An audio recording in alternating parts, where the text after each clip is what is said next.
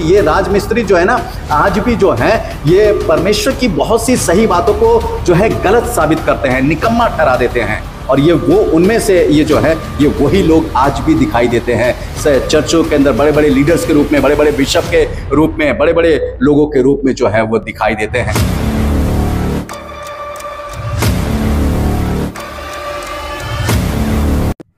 प्रभु यीशु मसीह के मधुर नाम में आप सबको जय मसीह। की प्रभु, आप सबको बताए से आशीष दे, आमीन। हम बात कर रहे हैं प्रकाशित वाक्य की पुस्तक के विषय में। प्रकाशित वाक्य के इस श्रृंखला में आप सभी का स्वागत है।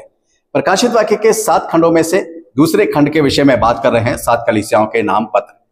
पिरगुमन की कलिसिया का ये आठवां भाग है। पिछले संदेश में हमने प्रकाशित वाक्य दो अध्याय, उसके सत्रहवें पद से सीखा था, मन्ना के बारे में। जी हाँ। मन्ना के बारे में सीखा था, परंतु आज हम सीखेंगे प्रकाशित वाक्य दो अध्याय सत्रह ही पद से सीखेंगे। और वो सीखेंगे कि परमेश्वर जो है, एक श्वेत पत्थर अपने लोगों को देगा और उस पर एक नाम लिखा होगा जिसपे पाने वाले के सिवाय और कोई उसे जान नहीं सकेगा।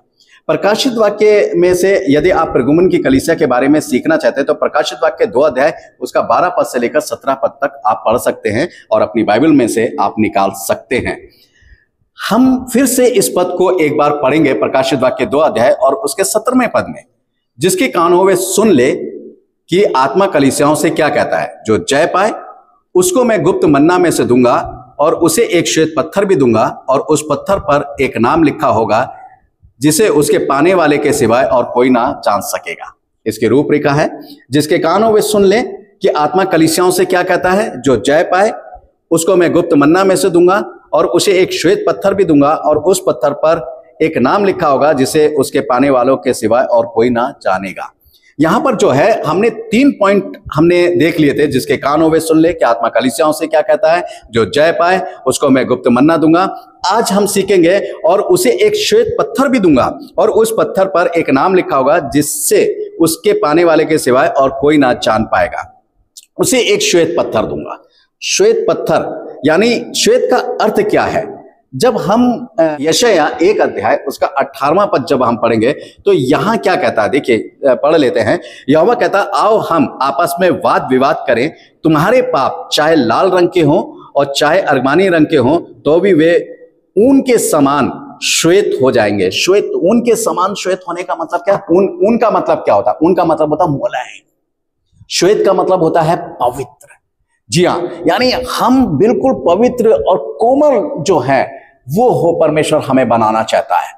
और किनको बनाना चाहता है? जो जय पाए। यानी वो श्वेत का मतलब पहले हम ये समझ लें, फिर हम पत्थर को अच्छे से समझ पाएँगे।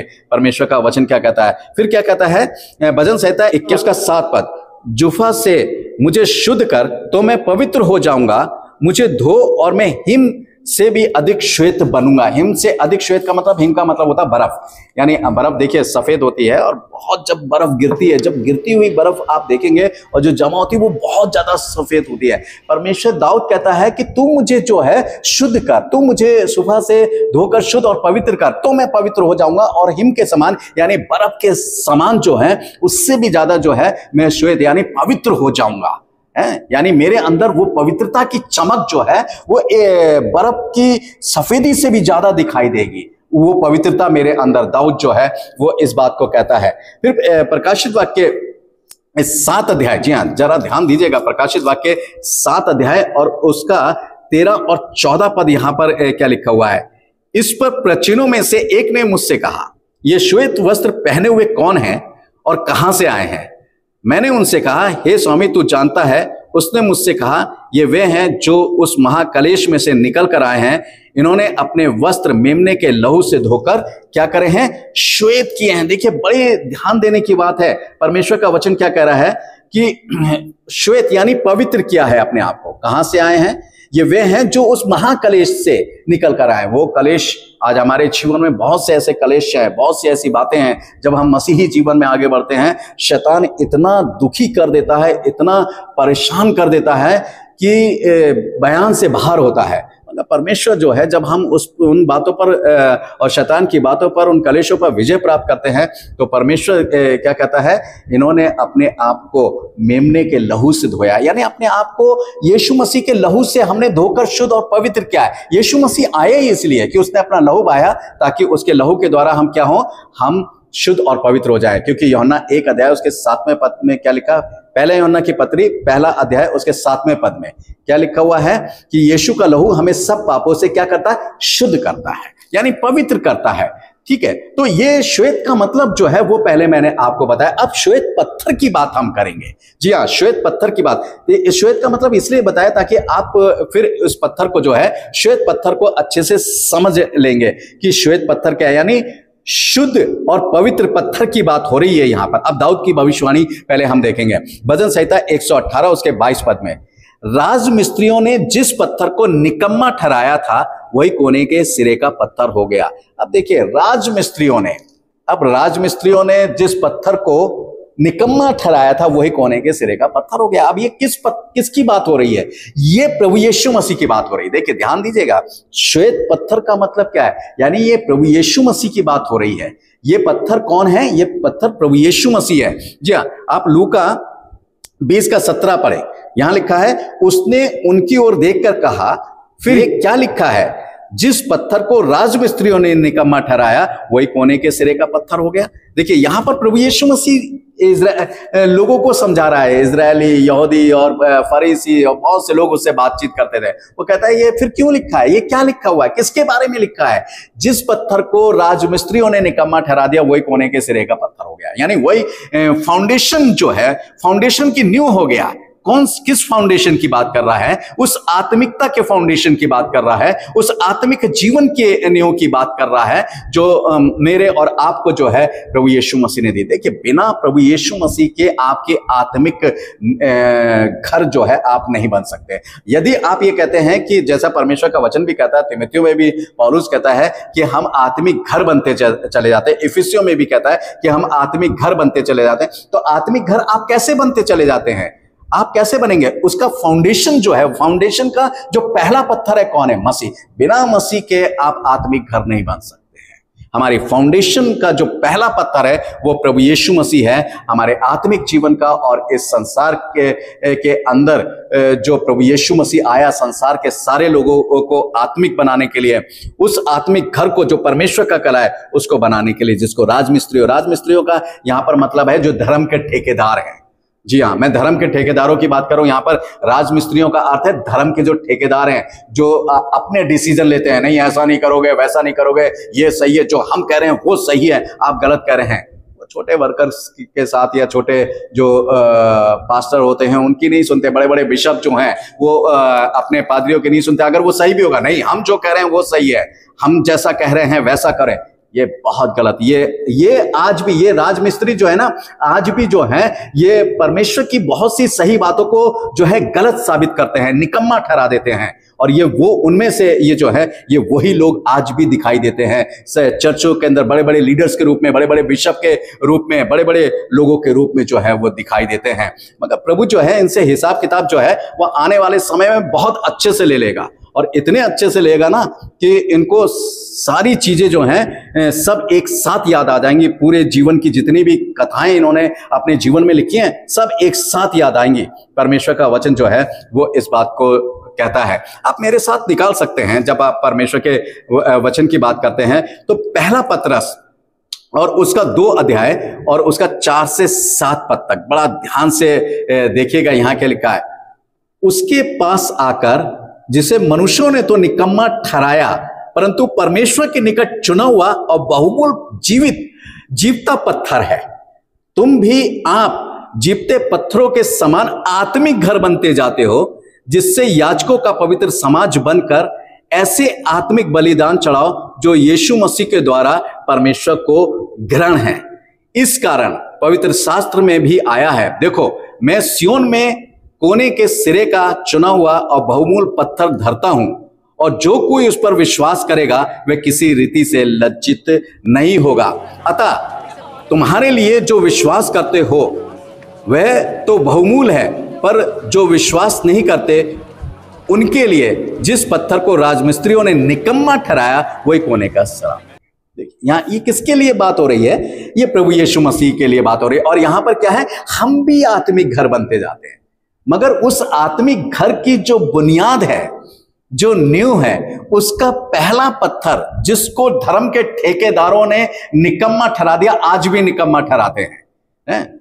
वो हमारा आत्मिक घर का जो है, वो फाउंडेशन का पहला पत्थर यीशु मसीह है, वो है और उस पर हमारा आत्मिक घर खड़ा है लिखा ना, जैसे प्रभु यीशु मसीह क्या कहता है, मती सात अध्याय को जब चौबीस पद से पढ़ना शुरू करेंगे कि जिस वो बुद्धिमान व्यक्ति है जिसने अपना घर चट्टान पे बनाया, और हमारी चट्टान कौन है? प्रभु यीशु मसीह है। यहाँ बहुत समझने वाली बातें हैं, और आज हमारे जीवन में ये बहुत सी चीज़ें जो हैं, वो दिखाई देती हैं कि वो श्वेत पत्थर, वो पवित्र पत्थर का है जिसपे हमारे आत्मिक घर की बुनियाद पड़ी है, वो है प्रभु यीशु मसीह है। ये समझने की वाली बात है। और सियोन के कोने के सिरे का यानी चुना हुआ बहुमूल जीवित पत्थर वो इसराइलियों के भी कोने का आ, मतलब फाउंडेशन है। वो इसराइलियों की भी आत्मिकता का फाउंडेशन है। वो हम जैसे अनजाति के लोग जो हम अनजातियों में से निकल कर आए हैं हमारे आत्मिक जीवन की भी फाउंडेशन का जो है वो बहुमूल पत्थर है। वो जीवित पत्थर है। और इसलिए वो जीवित पत्थर जब हम में लगा हुआ है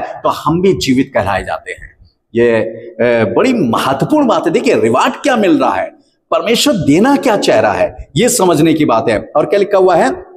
और उसे श्वेत पत्थर दूँगा।